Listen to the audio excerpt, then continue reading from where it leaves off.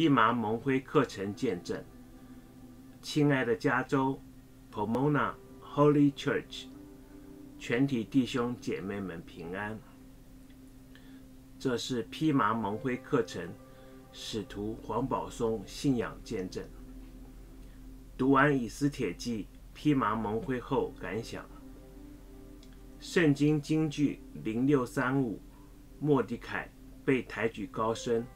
为后代子孙埋下不安的种子。以斯帖记十一章到十二章、十五章，谕旨中，王准各省各城的犹太人聚集，保护性命，剪除、杀戮、灭绝那要攻击犹太人的一切仇敌和他们的妻子儿女，夺取他们的财为掠物。莫迪凯穿着蓝色。白色的朝服，头戴大金冠冕，又穿紫色细麻布的外袍，从王面前出来。苏山城人民都欢呼快乐，犹太人有光荣，欢喜快乐而得尊贵。莫迪凯的高升与王谕旨的报报复杀戮是分不开的。莫迪凯最大的错误。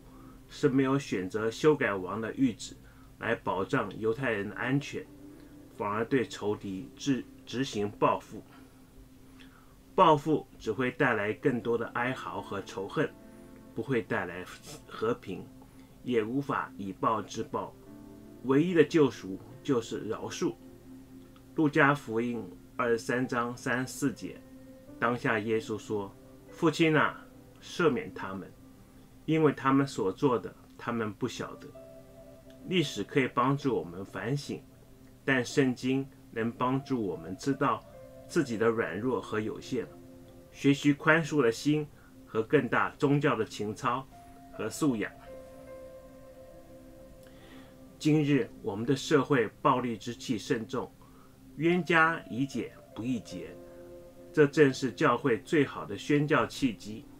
让我们根据神的话语，建立一个宽恕、怜悯的生活环境，这样我们才能为子子孙孙留下一个和谐属灵的社会。以斯帖最后一章最后一节说：“莫迪凯为犹太人求好处，向他们说和平的话，这是十分反讽的。我们需要切记马太福音六章四节。”你们饶恕人的过犯，你们的天父也必饶恕你们的过犯。